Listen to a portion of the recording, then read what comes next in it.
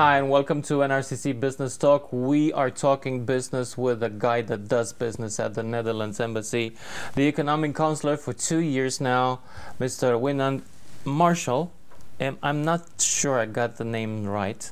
I never get the Dutch names right. I need to go and stay at, at least a week there to get the pronunciation ready. Keep on practicing. My name Okay. is Wijnand Marchal. That's- Okay. You have that right. So Yeah. much better. Economic counselor, uh, trade and economy counselor, actually. So, uh, how do you work with NRCC? Yeah, well, uh, the NRCC was established uh, in 2006, and ever since that, we've had a very close cooperation. Myself, I'm uh, a member of the board of the NRCC, so I get to meet uh, the, the the board every month, and I know what's what's going on within within NRCC and its members. Uh, so for me, it's a very interesting platform uh, work-wise because I get to know firsthand information about uh, uh, what the Dutch businesses are are doing here, what their challenges are, and what they're working on. Um, so uh, uh, yeah, the the cooperation I guess is very close, and we organize. Uh, um, events together like like doing business in the Netherlands which is coming up uh, sometimes receptions so like on King's Day we we try to work together uh, so there's a lot of uh, common interests in what what the NRCC tries to accomplish and the interests of the embassy It's also the Dutch Romanian network working to bring these people doing business and you know uh, fostering better ties with the Netherlands and the economy there. Well, how these entities how do they do they work together? Yeah, the uh, the Dutch Romanian network or DRN, they're based in the Netherlands, so they they service uh, uh, mostly Dutch companies Eh, eh, eh, that are based in the Netherlands are doing business with Romania, and they have been around almost as long as the NRCC. Um, they're also a network organization. They try to promote uh, business interests of Romania in the Netherlands. So they have a much closer link to the Romanian embassy in the Netherlands uh, than to us. But we uh, we are in touch and we are also working together with them whenever they have an activity planned where they um, where they uh, where they would like to involve the embassy uh, uh, we are ready to cooperate but they're more or less they're they're more into uh, uh, promoting Romania in the Netherlands and uh, we are here to promote the working? Netherlands in Romania Is it working? Um, yeah, I think they're they're they are a, a good organization with a lot of members, and uh, uh, it's um, it's it, it's you know Romania is a country with. Uh, uh, uh, with a certain, uh, well, how shall how shall I put it? A certain, um, uh, well, you have to get to know the country in order to uh, uh, to We to call it bad Uh, press. uh, Better reality. That's yeah. in a word, in a nutshell. Uh-huh. We got a lot Yeah. of bad press usually. yeah. uh, people when they come here, especially my expat friends, I don't know if they're telling me because they kind of want to be friends with me, but they say, "Oh, this is so, so much better than the media you've got over there." That's that's that's my experience as well, and Mhm. we're here to tell also the other side of the story. Right. Now, the other side of the story, the biggest side of the story is the investment, the Netherlands investment in Romania, topping two, bi- topping $2 billion uh, and affecting mm, a lot the, the local economy, not Mhm. only when it touches directly, but also when it sets an example and a model. Mhm. How do you think that this investment over the years uh, translated in economic terms Yeah. for Romania? Well, being the largest uh, foreign investor in Romania, uh, uh, I mean, Dutch companies have been here since many years, uh, uh, and uh, Romanian comp- companies. There are about 5,000 Romanian companies that are. Um, uh, uh, doing business on Dutch capital. Uh, uh, so, and together they provide jobs for 200,000 uh, Romanians. And I think this is quite impressive because Dutch capital is uh, 25% of the total FDI stock in Romania. Uh, as you said, 2 billion. Um, uh, 2 billion so far invested here and uh, well, a lot in in in, in, sectors uh, that that relate to production, uh, but also in IT and in agriculture. They're they're more or less all around uh, uh, uh the country in different uh, sectors, and I think Dutch investments um, have contributed to to modernizing the Romanian economy. Um, um, for example, in shipbuilding, uh, but also, as I said already, uh, the agricultural sector, the the financial sector, and many Dutch companies also choose their their Eastern European hub to be in Romania. Um, so it's. It's it's it's a growing enterprise. These investments. Yeah. Yeah. Um, people are talking about a new economic recession. There are a few signs of it. Uh, if you look into the markets, what would this be? Okay, this clearly is not bad news, but could it be an opportunity? It's not good news, but could it be an opportunity for Romania or the Netherlands or both? Well, uh, I don't. I don't really agree with you about uh, an economic recession, uh, especially not to the extent that we have seen ten years ago. Uh, uh, there's definitely a slowdown of economic growth, and that is that is a global trend. It's it's not just focused on Romania. You have seen positive growth of uh, well up to seven percent in well only two years ago, and we all knew that this was not something that you can sustain over a longer period and especially if your tr main trading partners like Germany and France, they're, they're, they're, uh, the, uh, uh, the growth is slowing down, that automatically has an impact on Romania.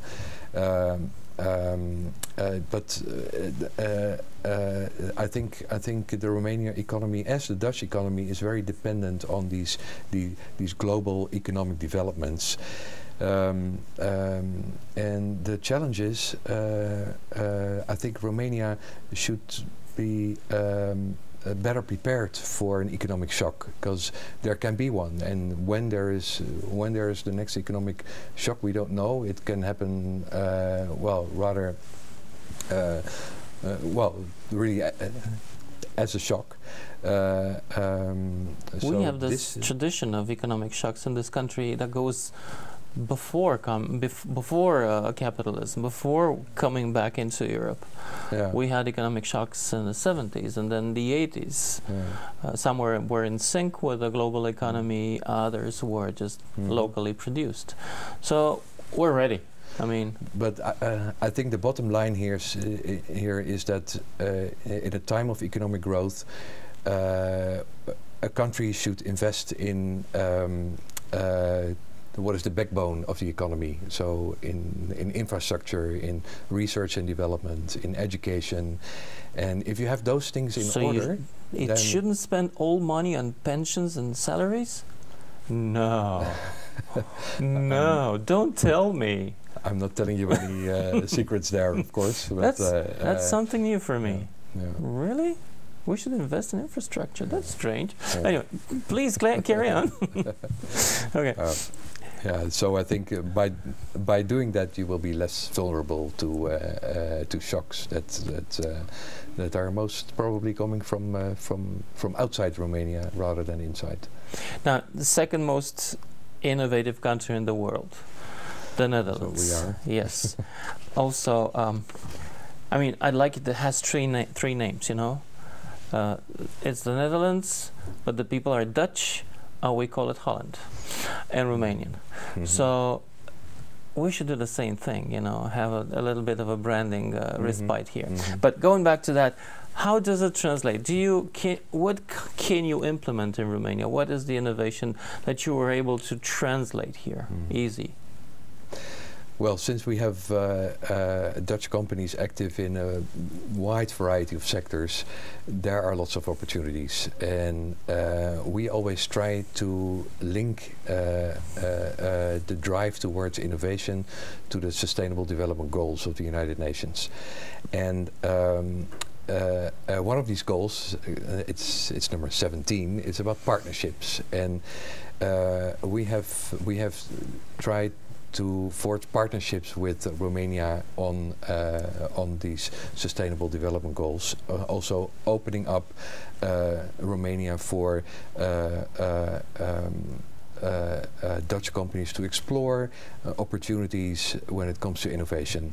So, for example, in the water sector, there, there, there's a lot of knowledge. Uh, I mean, we Dutch, we live half of the country is below sea level, so we have to uh, be uh, creative in order to survive. Well, here in Romania, we're in the same situation with our finances. uh, uh, yeah, but also uh, with your with your uh, the, with the water situation, the Danube and the the, the Danube Delta and the areas around, uh, you also have to deal with floodings uh, that that are that are a nuisance for the population. Uh, but with some uh, uh, some solutions that you can, you know, just copy from the Netherlands, um, uh, you make this country a much better place to live. And and we're ready to share these experiences. Also, um, exchanges in in in circular economy are taking place. Uh, uh, uh back to the Sustainable Development Goals, we recently had an uh, had a visit from uh, from a Romanian government. Um, um, delegation that is working on the development cooperation because uh, uh, that's where Romania is. It's now no longer receiving development assistance from outside. It is a provider of of assistance.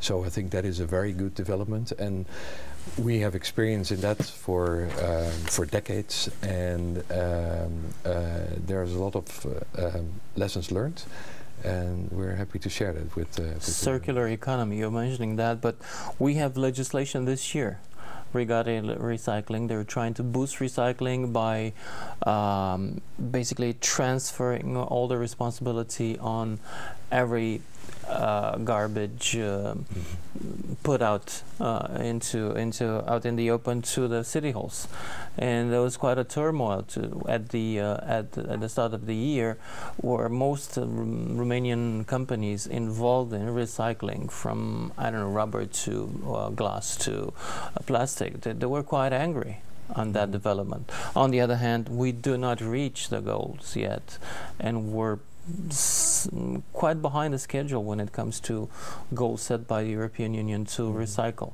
Mm. Uh, where do you think the Netherlands can help on that?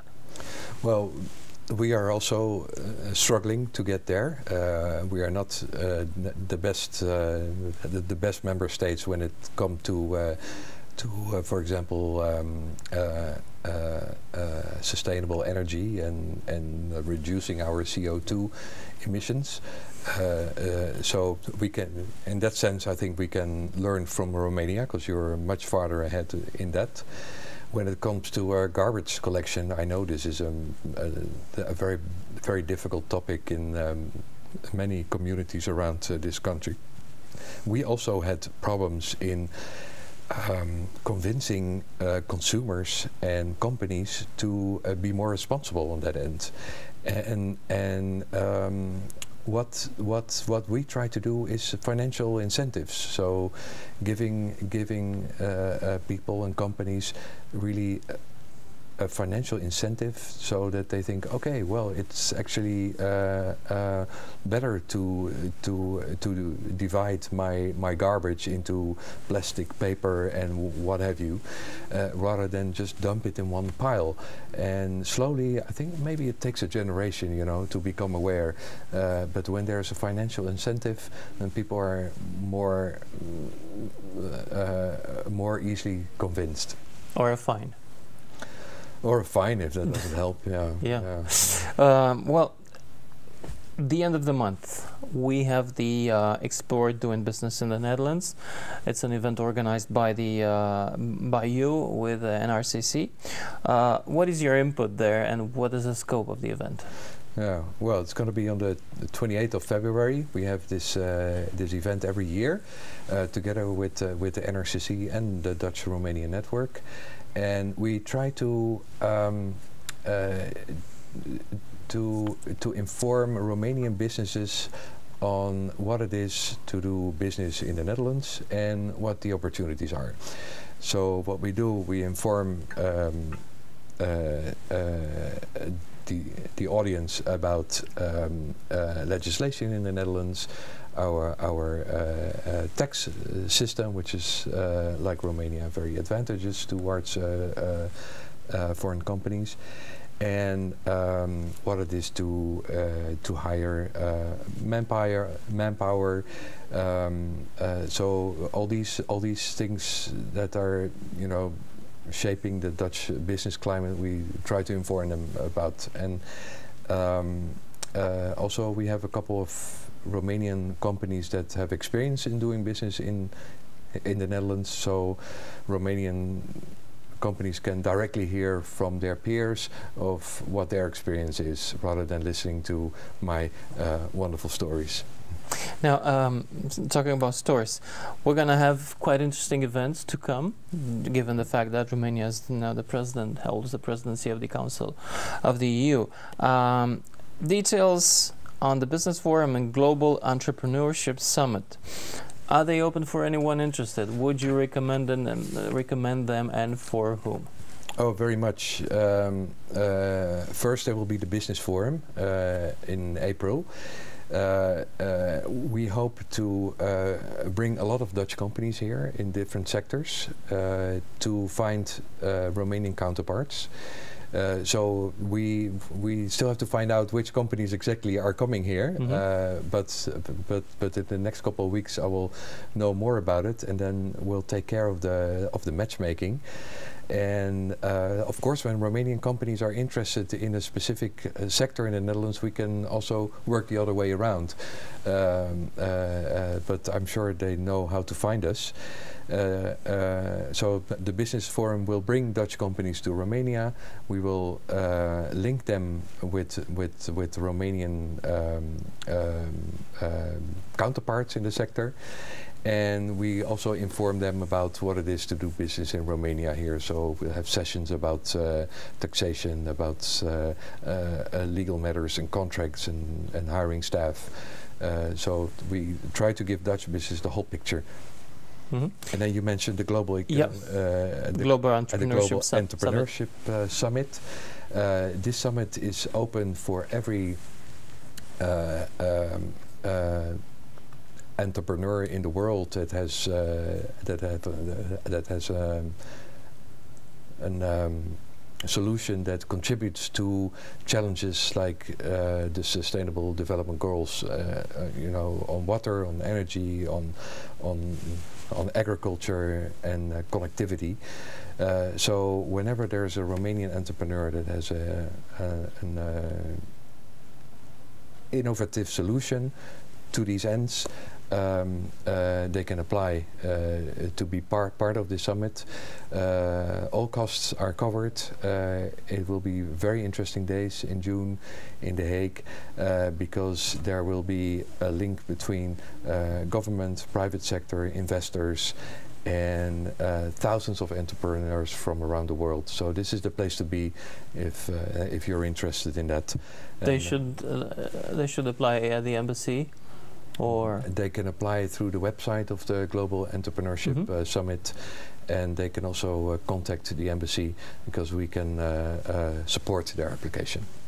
Okay, NRCC events. Which one do you like the best? Uh, well, it's nice that the NRCC uh, provides us with uh, with with with a mixture of events, and I like uh, both the more content-related events as well as the networking events. Uh, I think they they uh, um, they pr provide me with information about uh, businesses and and help me with with growing my network. So I like both of them. Which are the ones you're you're going to be attending? Where can we uh, well contact I, you? I I try to be at the at the board meetings of the NRCC uh, okay. in the first place, and that is always followed by a by a network drink. So um, uh, I'm usually there at the networking drink, and and I look forward to reach out to um, uh, uh to Dutch and Romanian companies present there. Okay, I'm looking forward to see this year. Uh, maybe in Cluj, maybe in Bucharest. Who knows? Yeah. All right. Okay. Thanks a lot. Okay. Thank you. Ladies and gentlemen, please don't forget if you find this anything interesting here and you think your friends might be left out, please remember to share. Thank you very much. See you next time.